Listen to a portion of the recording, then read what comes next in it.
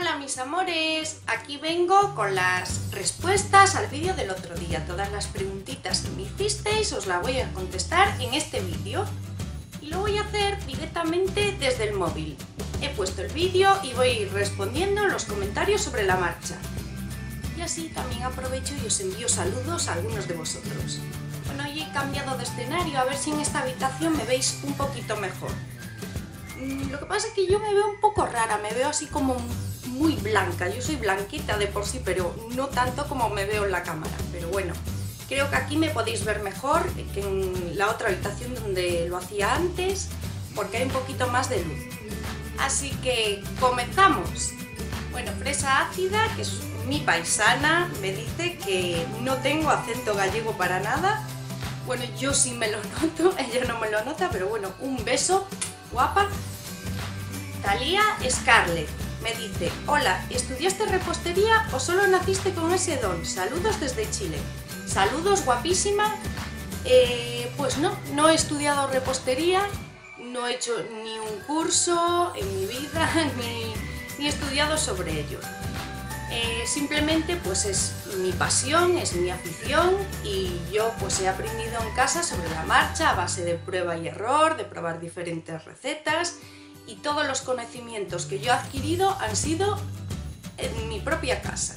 Entre otras porque tampoco económicamente me he podido permitir pues estudiar sobre ello. Pero cuando uno tiene una pasión y realmente la quiere desarrollar, no importa que podamos eh, permitirnos hacer cursos o no desde casa y hoy en día con internet, bueno, pues tenemos muchísimas opciones para poder aprender, pues con libros, con blogs, con todo lo que te encuentres. El caso es empaparse de información y sobre todo ir probando, ir probando. Al principio, bueno, pues las cosas no salen igual que, que te pueden salir más adelante, pero de eso se trata. Esto es como cualquier otra cosa. Si tú quieres aprender a tocar un instrumento, pero no puedes permitirte pagar unas clases, lo puedes hacer pues viendo tutoriales en YouTube o lo que sea pues poquito a poco vas practicando y al final te van saliendo las cosas. Paulina me pregunta, hola, ¿qué fue lo que te inspiró a subir vídeos en YouTube sobre recetas?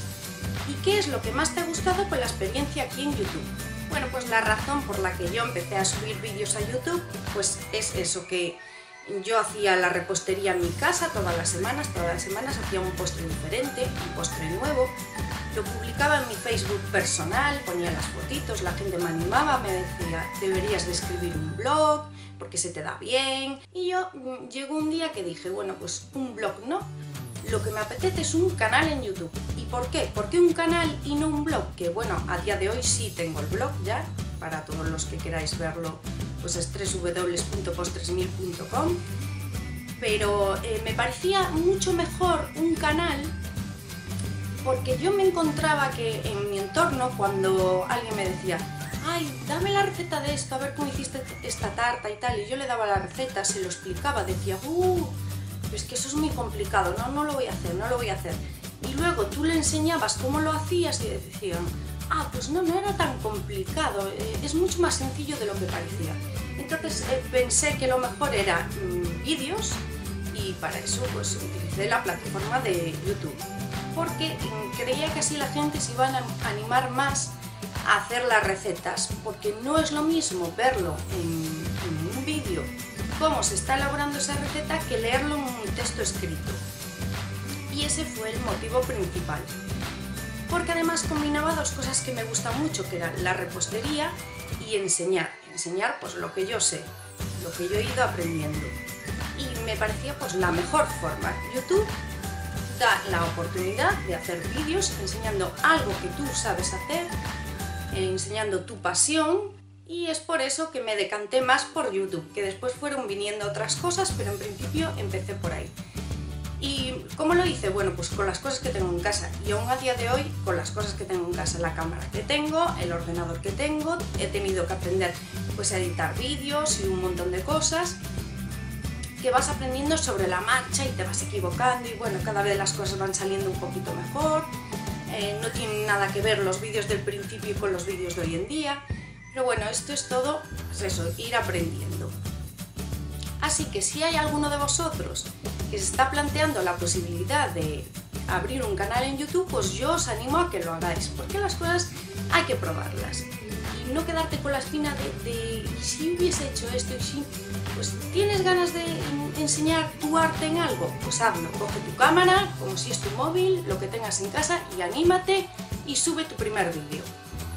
Porque la verdad es que es una experiencia maravillosa, a mí me ha encantado. Yo cuando empecé a subir vídeos no pensé que esto iba a llegar a, este calibre, que iba a empezar a suscribirse gente.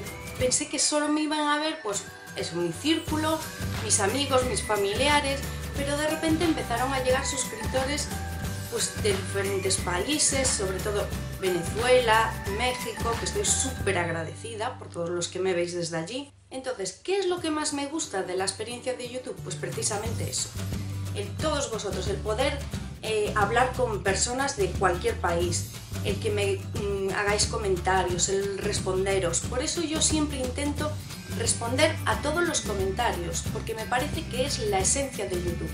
El que tú puedas ver un vídeo de una receta y que puedas directamente hablar con la persona que ha hecho esa receta, consultarle tus dudas. Para mí esta es la gran diferencia de lo que es la televisión a lo que es YouTube. Tú en la televisión pues ves un programa de cocina, hay un cocinero poniendo una receta, pero tú no tienes la opción de decirle, oye, y esto es que me ha quedado la duda aquí, o esto cómo lo has hecho, o qué te parece si hago así.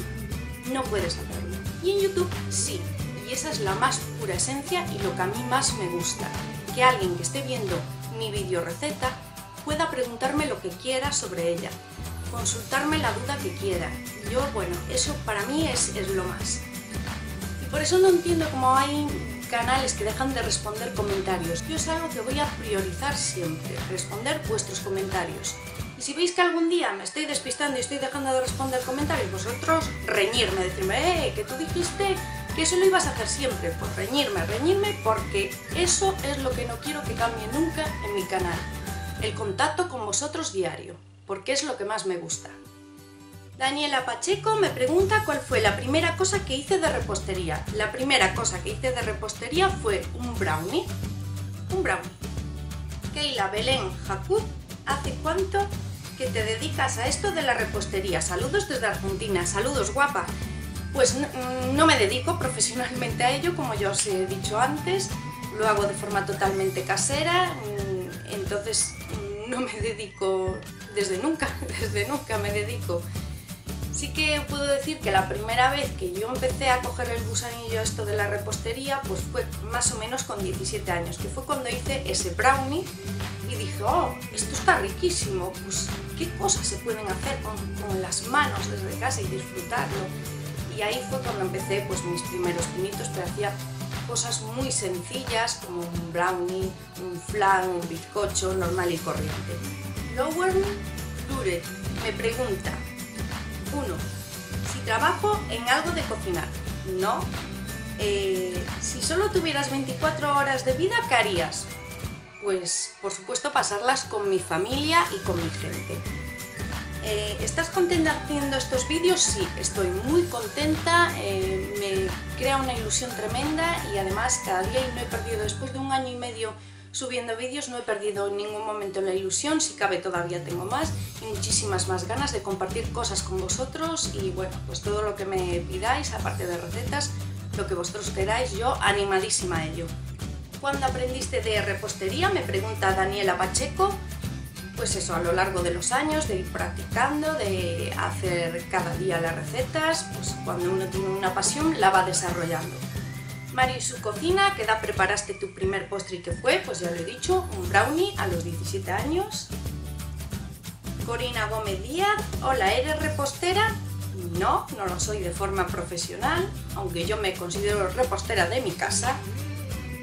Alba y Gabri Aguilera, ¿los ingredientes de tu receta se te ocurren a ti o vas cogiendo ideas de otras recetas? Bueno, pues depende de la receta. Tenéis algunas recetas en el canal, como el helado de chocolate, que eso fue de repente una inspiración. Dije, voy a mezclar esto con esto y con esto y a ver qué sale. Y salió un helado riquísimo. Otras pues son inspiraciones, pues en libros, en blogs, en... bueno.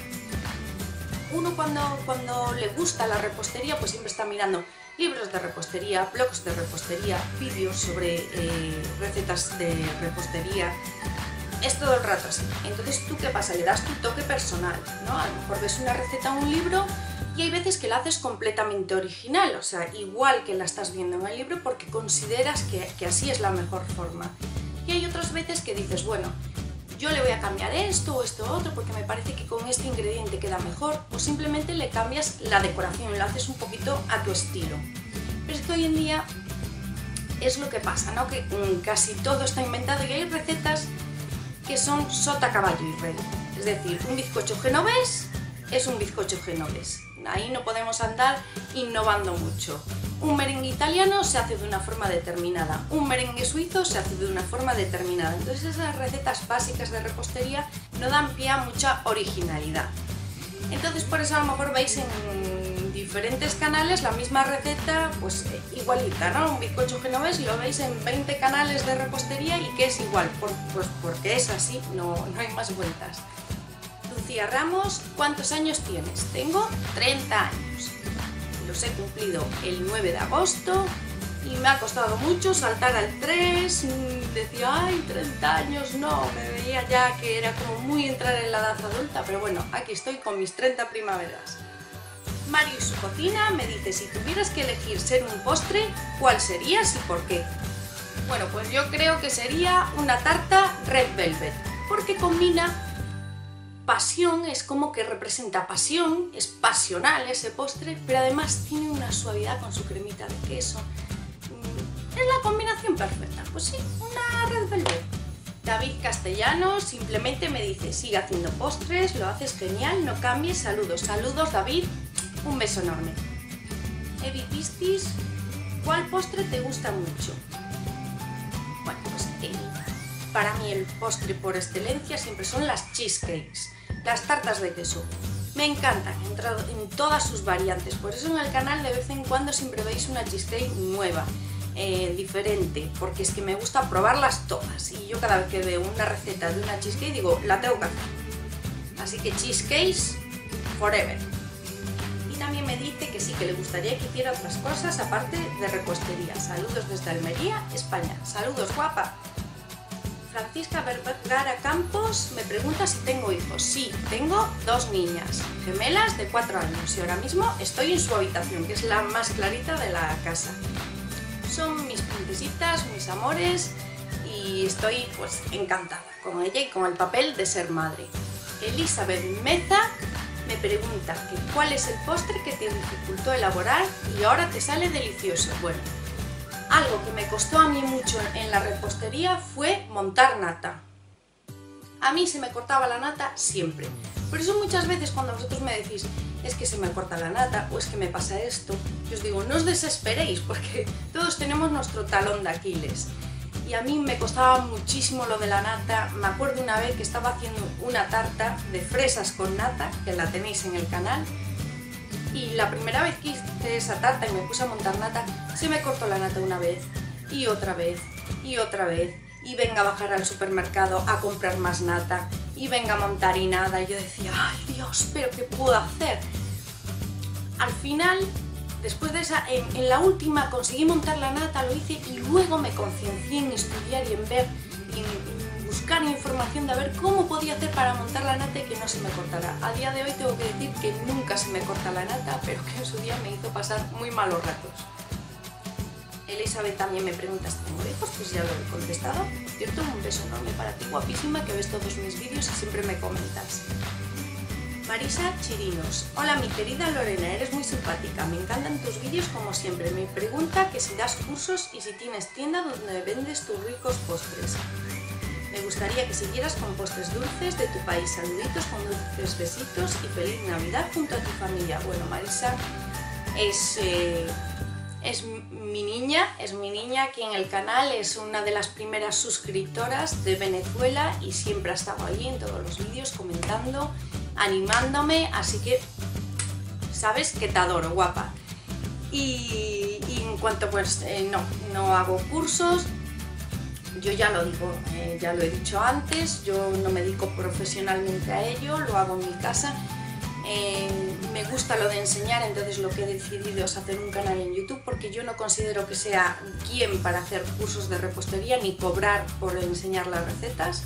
Así que este es el, medio que a mí más me gusta y no, tampoco tengo, no vendo los postres ni nada, porque bueno, aquí en España tampoco es tan fácil esto, hay que seguir una serie de pasos para poder vender alimentación y, y, no, no lo hago. O sea, todos los postres que veis en el canal nos los comemos en casita, sí, somos unos gordis, nos encantan los dulces y nos los comemos enteritos. Es así. Voy a mandar un saludo a Pablo García Contreras, que no me ha hecho ninguna pregunta, más bien es que él es un picarón y te mando un saludo, que tienes un humor tremendo y me encantas. Me acabo de dar cuenta, seguramente he salido del vídeo por los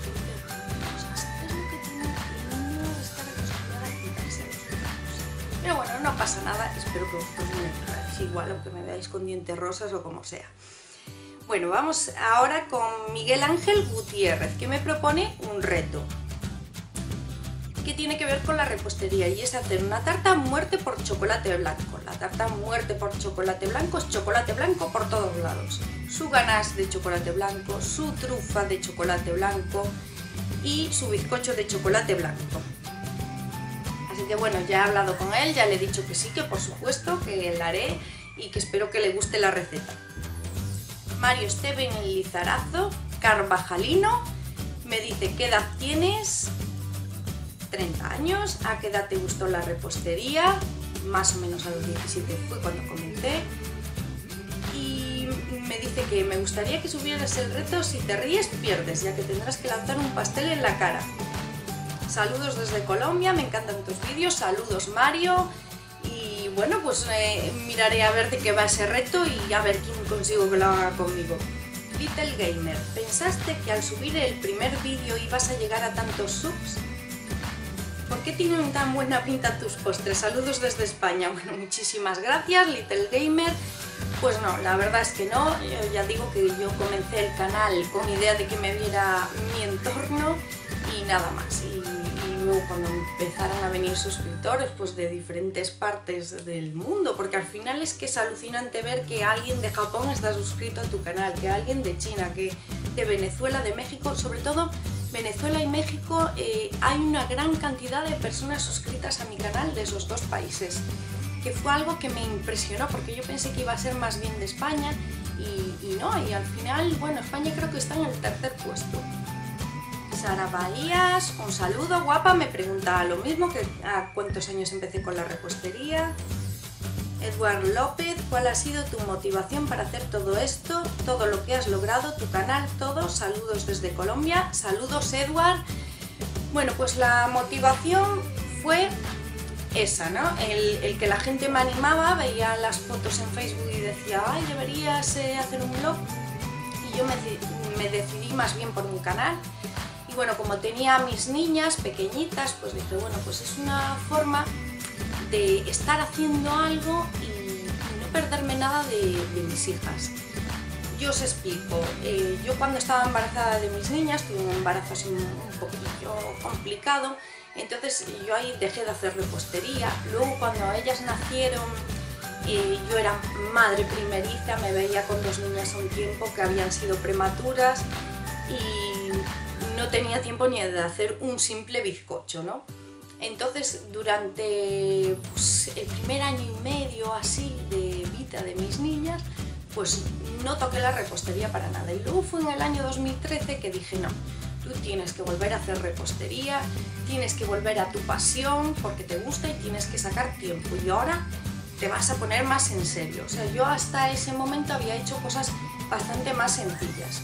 Y en 2013 fue cuando empecé a hacer mm, repostería un poquito más creativa y diferentes recetas. Empecé a hacer cupcakes, tartas diversas, bueno, un montón de repostería. Y estuve todo ese año 2013, que también en ese año me saqué el carnet de conducir, fue otro propósito de año nuevo, y en enero me puse con las dos cosas. En abril tenía mi carnet de conducir y yo seguí todo el año con la repostería, probando, aprendiendo y ya fue en 2014 cuando decidí pues empezar con esto de YouTube y la motivación fue esa, ¿no? El poder seguir criando a mis niñas, estando con ellas, no perdiéndome nada de su, de su crecimiento, de su día a día, pero al mismo tiempo hacer algo diferente además de ser madre. Y esa fue la motivación principal. Verónica Santiago, un saludo. Hola, eres repostera o aficionada, gracias por compartir recetas, saludos y felices fiestas. Gracias, guapísima, felices fiestas para ti también. Y, bueno, pues ya lo he respondido, ¿no? Que es eh, afición. Monche Díaz, que fue lo que te animó a ser repostera. Saludos desde Osorno, Chile. Bueno, no soy repostera de forma profesional. Eh, la repostería es mi pasión y por eso la hago cada semana. Y que si podría hacer postres fáciles como para niños, pues sí, lo miraremos. Y si quieres proponerme algo, pues tú dímelo. Y por último, Elizabeth Meza que me dice que soy muy hermosa. Bueno, pues tú eres guapísima. Y bueno, pues hasta aquí, hasta aquí son todas las preguntas que me habéis hecho, las he respondido todas. Quiero decir también que os deis una vuelta por Mario y su cocina, que miréis su canal, que acaba de empezar este chico y lo hace muy bien y tiene muy buena pinta su canal. Yo estoy suscrita a su canal, vosotros ir, alegrarle el día, que seguro que si ve que os suscribís y que tiene más visitas, pues le dais una alegría enorme.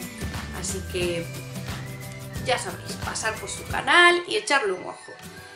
Y nada más, que espero que os haya gustado las video respuestas, que si es así no os olvidáis de darle al like, que me veo con una luz súper extraña porque me está dando la luz ahora aquí de pleno, el sol, pero bueno, que, que eso, que muchísimas gracias por estar ahí, por verme cada día, que yo estoy feliz de compartir con vosotros recetas y todo lo que queráis, y nos vemos en el próximo vídeo.